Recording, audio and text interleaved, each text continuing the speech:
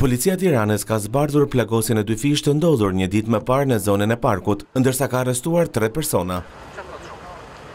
Mes të ndaluarve është dhe njëri nga të plagosurit.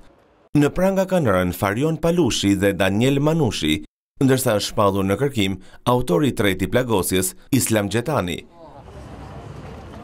Të tre këta persona kanë qëlluar me armë zjarri duke lënë të plagosur Xhulio Velën dhe Aleksandër Nikolin. Ky i fundit gjithashtu i arrestuar për moskallëzim krimi.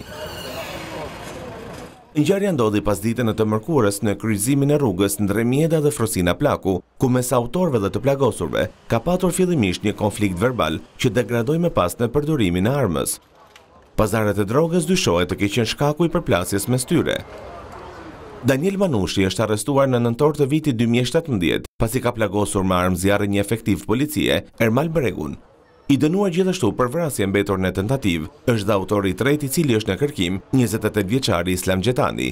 Ky i fundit u ekstradua pak vite më parë nga Bullgaria. Farion Palushi aktualisht ndodhet në arrest shtëpie, pasi në qershor të këtij viti në zonën e Parkut u arrestua për drogë. Po ashtu dhe i plagosuri Xhulio Vela është me precedent penal në Shqipëri dhe në Itali për shpërndarje droge.